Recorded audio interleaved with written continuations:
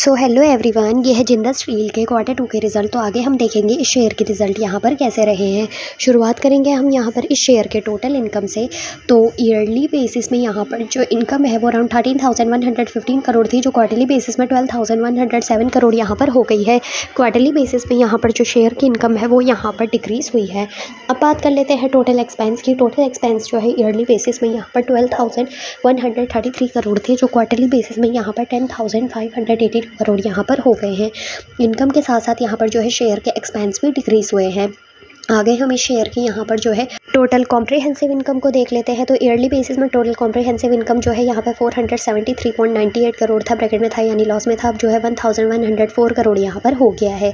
आगे हम इस शेयर के जो है अर्निंग पर शेयर को भी देख लेते हैं अर्निंग पर शेयर यहाँ पर जो है फोर रुपये पॉइंट सेवेंटी वन पैसे था, ब्रैकेट में था, यानी लॉस में था, अब जो है इलेवन रुपये पॉइंट थ्री पैसे हो गया है तो ओवरऑल एनालाइज करने के बाद देख सकते हैं शेयर के रिज़ल्ट यहाँ पर काफ़ी ज़्यादा बढ़िया रहे हैं।